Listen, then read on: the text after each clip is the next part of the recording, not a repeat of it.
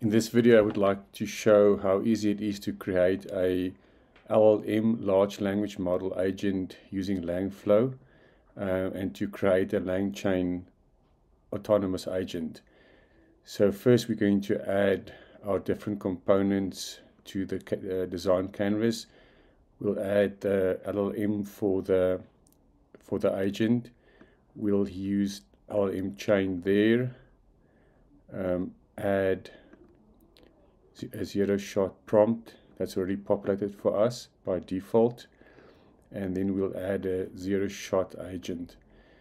So the OpenAI component underpins the uh, large language model and then we need to add a few tools to for the agent. So we'll add search so the agent can search the web scrape the web. We'll also add a math component so the agent can do calculations. And subsequently, we will connect um, these different components. Right, so I've, I've, added my OpenAI API key here. I've added my SERP API key in the search component. Um, you can get the search API free of charge and now we should be ready to to test. You can see the complex question we pose to the agent. What is the square root of the year of birth of the founder of the company SpaceX and what was the first company founded?